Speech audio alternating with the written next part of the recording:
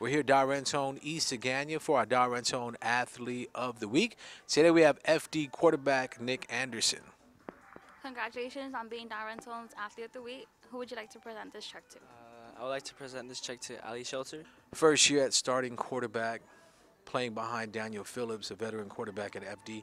What did you learn and what did you take away from playing behind a quarterback like that? Playing behind such a great quarterback, you know, he taught me really everything I know now. You know, he taught me uh, how to read.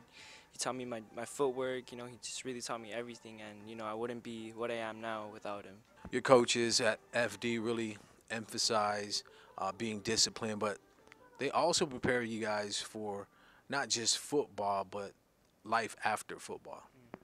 Yeah, so uh, during practice, everything is, you know, work, better, discipline, you know, hard work.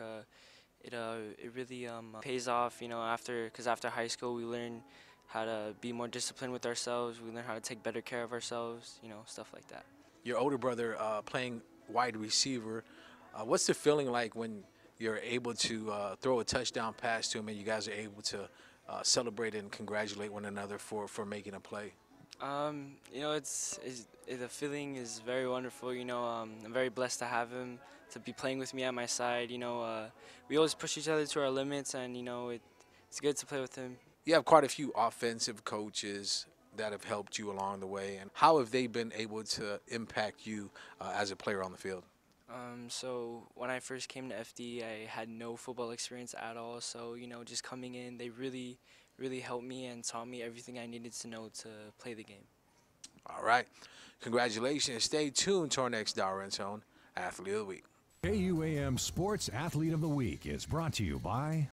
Jason Cunliffe is Guam's first and only national player to officially earn 50 international caps to date.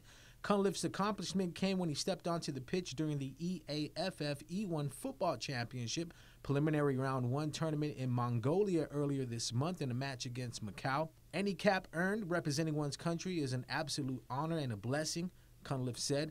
Anyone who knows me knows that I live and die for Guam football, so to be able to reach my 50th cap is something I hold very dear to my heart.